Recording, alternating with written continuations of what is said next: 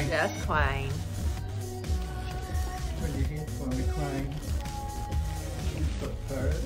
Aren't I though?